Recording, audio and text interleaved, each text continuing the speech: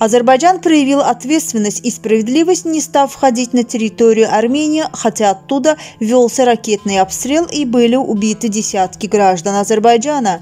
Как передает канал 13, об этом заявил глава государства Ильхам Алиев на совещании по итогам 2020 года. «Мы преподали им урок на поле боя, и сегодняшний политический кризис в Армении – это результат их аннексионистской политики», – сказал он. Президент обвинил также иностранные компании, которые вели незаконные разработки на оккупированных территориях Азербайджана, заявив, что они будут привлечены к ответственности. Пусть знают это и готовятся, пригрозил Алиев. Далее он раскритиковал деятельность российских миротворцев, которые допускают в Карабах иностранцев. Мы поставили перед миротворцами задачу не допускать в регион иностранцев без нашего разрешения, однако туда поехали делегация парламента Франции. После этого в МИД был вызван посол Франции и ему вручили ноту, отметил Ильхам Алиев. Ранее президент Азербайджана также осудил действия официальных официального Еревана, в частности поездку в Карабах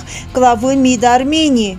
Что ты там потерял? Пусть не забывают уроки войны. Этим визитам должен быть положен конец. Предупреждаем, что этим провокациям должен быть положен конец, иначе Армения пожалеет, заявил Ильхам Алиев.